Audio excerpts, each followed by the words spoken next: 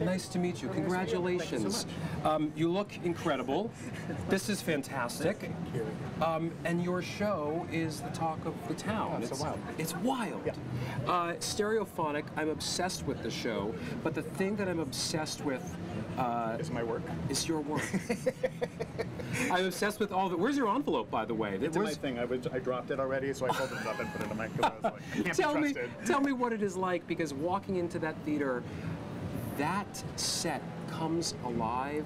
The costumes come alive. The fact that the reel-to-reel moves as soon as he presses record on the board. Yeah, he's really pushing a button that controls the reel to reel. Is he really? Yeah, yeah. That's not triggered no, backstage? It's actually controlled. So how did you figure Yeah. this all out? I mean, it's like mean- the most daunting task in the world. We have an amazing sound designer, Ryan Rumery, who's and, and Justin and Will, and you know Will has spent a time or two Time in a recording studio, yeah. So um, you know things like that and the kind of wiring of odd stuff is their Yep. domain.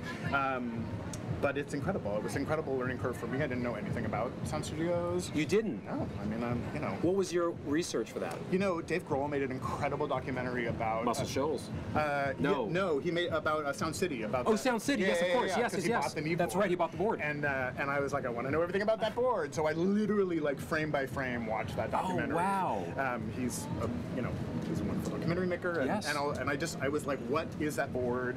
What is? And it was it was you know it was like the beginning of the pandemic when this started. So I had some time to really just like learn about you know as much about that stuff as I could. It's such a visceral experience that show because you really feel like you get to know the band and you get to know the songs, um, but you also get really, and this is much uh, attribu- attributed to you.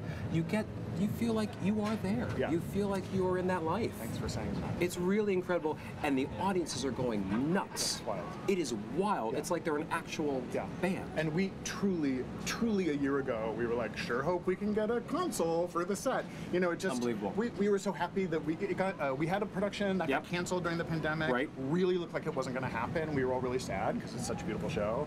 And um, so you know, a year ago, we were so thrilled Playwrights was producing it, and we were just were like, sure hope we can you know Yeah. get cobble this thing together and put it on its feet. So the journey that it's had is Yeah. insane. It's a lot. Uh, David, I'm going to have you Great. Uh, sign your um, poster right there. Amazing. There you go.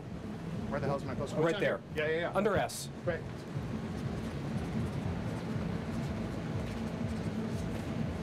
Congratulations. Thank you so much. Really, really extraordinary. It's David Zinn, ladies and gentlemen. Woo! Woo!